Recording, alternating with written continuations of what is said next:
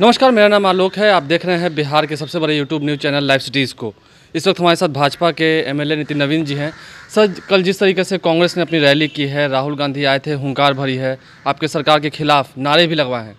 क्या कहेंगे मुझे लगता है कि जितना खर्चा उन्होंने होर्डिंग में किया, जितने बड़े पैमाने पर उन्होंने होर्डिंग लगाने का काम किया, उस अनुपात में अगर संख्या आई होती तो मुझे लगता है कि कांग्रेस को खुश होने का मौका मिलता।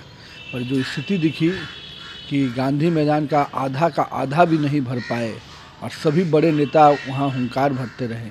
जनता नहीं थी, हुंकार ज़रूर था। कुछ बड़े नेताओं के मेहनत के बल पर भले कुछ संख्या जुट गई, पर जनता नहीं थी। और ये दिखता है कि कांग्रेस की कोई साख नहीं बढ़ने वाली है। उनकी लुटिया डूबना तय है। जो भ्रष्टाचार उनके और उनके पार्टी ने किया है, आज भी जनता उस भ्रष्टाचार से करा रही है। और उनके सामने नरेंद्र मोदी ही अंतिम विकल्प है और नरेंद्र मोदी ही इस देश को जिस विकास के रास्ते पर ले के चल रहे हैं वही इस विकास के रास्ते पे आगे भी ले जा सकते हैं। राहुल गांधी कभी कोई विकल्प बनने की स्थिति में नहीं है। उन्होंने सबसे नारे भी लगवाए हैं कि चौकीदार चोर है।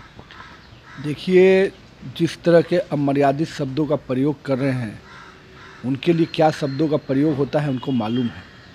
मैं तो पूछना चाहता हूँ, जिस कांग्रेस ने भ्रष्टाचार को जन्म दिया, उस पर कौन सा आरोप होना चाहिए? और हम, जिन्होंने पाँच साल में हमारे किसी एक मंत्री पर वो आरोप नहीं लगा पा रहे, है हिम्मत तो सुप्रीम कोर्ट में, हाई कोर्ट में जाते हैं, हल्फनामा दायर करते क्यों नहीं हिम्मत जुटा पाए? सुप्रीम कोर्ट ने तो राफेल के विषय पर हमारा जो निर्णय दिया, उनके मुँह पर तमाचा है।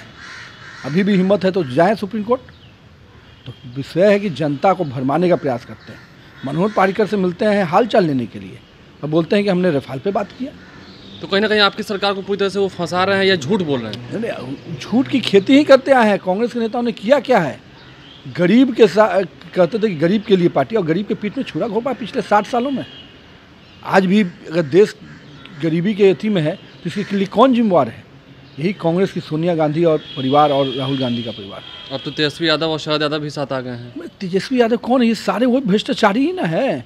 चारा घोटाले का आरोप किन पर है? किन पे अभी तरह तरह के ईडी के नोटिस आ रहे हैं?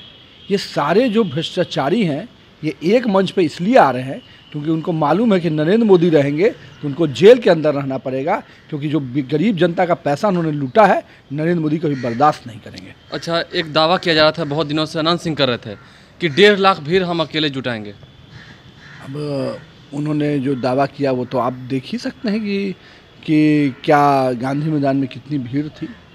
हज़ार के आंकड़े भी नहीं पार कर पा रहे थे। तो लाख की बात दूर है। और मुझे तो लगता है कि कांग्रेस के नेताओं को शर्म से आना चाहिए कि इतनी बड़ी लंबा चौड़ा बनाजा बनाया और जनता नहीं साथ खड़ी हुई। अच्छा एक आखिरी सवाल। तीन फरवरी की रैली हो चुकी है। अब तीन मार्च की रैली होनी है। तैयारियाँ हो रही हैं? अब देखेंगे किस प्रकार से जनता भी नज़र आएगी और जो गांधी मैदान 25 परसेंट भी नहीं भर पाए गांधी मैदान का स्वरूप आप देखिएगा। इस भीड़ से कितना दो गुना तीन गुना कितना गुना नहीं हम कोई दुगुना और ऐसी की चैलेंज नहीं करते हैं।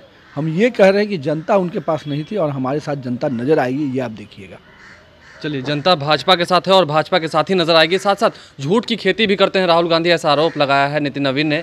आने वाले दिनों में क्या कांग्रेस के नेता इस पर कोई पलटवार करेंगे और जिस तरीके से भीड़ नहीं जुटा पाए हैं उम्मीद है इसके बारे में भी वो कुछ कहेंगे। लाइव सीरीज़ के साथ आप बने रहें। यदि अभी तक आपने हमारे चैनल को सब्सक्राइब नहीं किया तो ज़रूर सब्सक्राइब करें। साथ साथ फेसबुक पेज भी लाइक करें, ताकि हर छोटी बड़ी खबरों के साथ हम आपको रूबरू करा सकें। धन्यवाद।